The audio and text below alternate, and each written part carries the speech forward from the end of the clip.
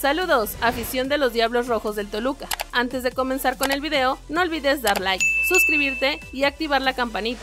Sin más por el momento, iniciamos. Ignacio Ambriz no tiene asegurada su continuidad en el banquillo de Toluca y podría salir en el próximo mercado. Si bien no consiguieron el título de Liga MX, el llegar a la final fue un gran avance dentro del Toluca con respecto de lo que hicieron los Diablos Rojos en el primer semestre de Ignacio Ambriz al frente del equipo, donde los de la capital mexiquense no consiguieron ni siquiera entrar a la zona de repechaje. Es por ello que se esperaba que Ambriz continuara al frente del equipo por lo menos seis meses más, a tal grado que el entrenador ya habría pedido algunos fichajes para el invierno. Sin embargo, su futuro dentro del cuadro del Estado de México podría tener un giro de 180 grados y hoy tiene opciones de quedar fuera del club en las siguientes semanas. De acuerdo con información de Fox Sports, dentro de Toluca se están viviendo cambios drásticos a nivel administrativos y esto podría golpear al equipo a nivel de cancha. Siendo así, el propio Ambriz habría tenido comunicación con la directiva del club y ha informado que en caso de ser necesario él está dispuesto a dar un paso al costado y no interponerse dentro de las modificaciones que se viven en Toluca y menos si están van a golpear su proyecto deportivo. Por otro lado, Orbelín Pineda reveló que en el el trayecto hubo varios equipos de la Liga MX que mostraron interés en repatriarlo. Sin embargo, su deseo es triunfar en Europa. Había oportunidad de volver a México. Toluca, Chivas, Santos y Monterrey me buscaron, pero estoy joven y creo que no me dieron la oportunidad necesaria para poder trascender acá. Eso me inquietaba para por lo menos intentarlo. Ahora lo estoy haciendo. Quiero volver a España. Eso es una revancha, expresó. Fue por esta razón que Orbelín Pineda rechazó a Chivas y Toluca para seguir en Europa. De igual forma a Santos Laguna y Monterrey eran los equipos que lo querían de vuelta de dentro de la Liga MX y sabían que no estaba teniendo minutos en Europa. Incluso quien más cerca estuvo fue Toluca, ya que Orbelín guarda un gran agradecimiento por Nacho Ambriz, entrenador que lo debutó en primera división y estuvo cerca de convencerlo para que regresara. Para finalizar, el Deportivo Toluca ya tiene su calendario del torneo Clausura 2023. Los Diablos Rojos del Toluca rompieron filas el 31 de octubre para iniciar un periodo de vacaciones que se extenderá hasta el 30 de noviembre, fecha en que el equipo se reportará de regreso para iniciar pretemporada de cara al Clausura